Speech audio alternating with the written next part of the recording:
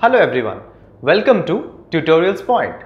In this video, we are going to talk about the structure and the growth patterns of the kingdom fungi.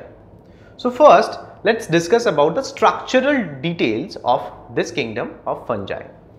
Fungi, they have got a number of elongated tubular filament type structures and these type of elongated filament type structures they have been given a name that is hyphae. So basically if uh, this is a fungus then they have got some filament like structures like this okay it's like flagella you can say. So these are basically termed as hyphae.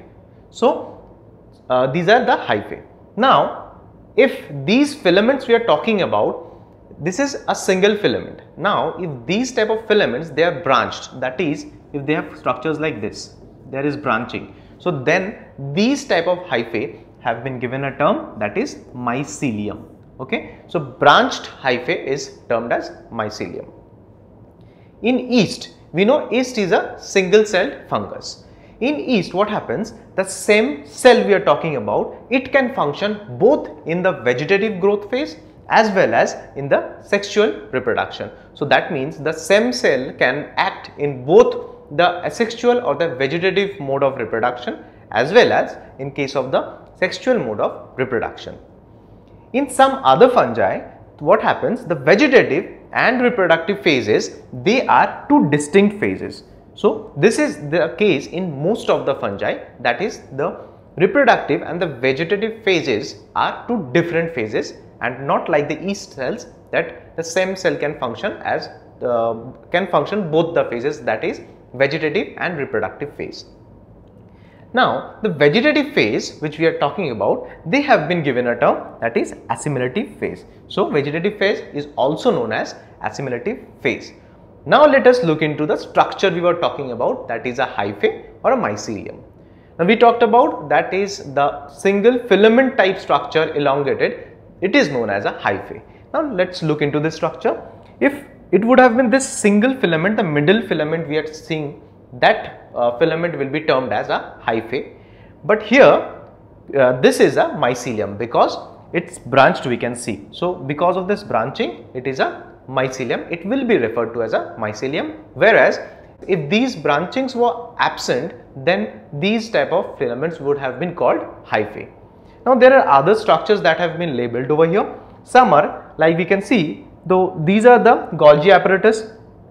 It is covered by a cell wall and inside the cell wall they have got plasma membrane. There is something called septum. We will be discussing about this septum in detail in the coming videos. They have got vacuoles also. There is presence of lipid body, mitochondria as well as the blue color we are seeing. These are the nucleus of these type of cells. Now, uh, the fungi we are talking about, they mostly perform extracellular digestion. That means they are saprotrophic in nutrition.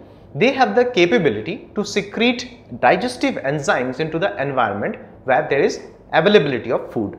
Now, these digestive enzymes, what it does is that they break down the complex uh, com uh, food components into simpler components which can be absorbed by these type of organisms. So, basically this is a extracellular mode of digestion where the food is not uh, taken in as a whole Instead, it is digested outside and then the digestive products are taken or absorbed by the organism. They do not have chlorophyll, so they cannot photosynthesize. That means, since we are discussing they are saprotrophic or they can also be parasitic in nutrition.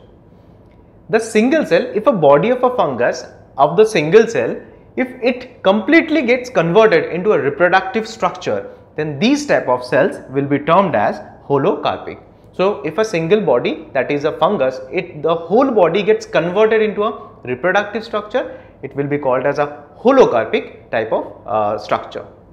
But in case if a part of the, the fungus, if that is converted into a reproductive structure, then that part is known as the eucarpic type of uh, reproductive structure. That means a part of the thallus or the body of the fungus, a small part of the body of the fungus will be converted into a reproductive structure. Then it will be termed as eucarpic.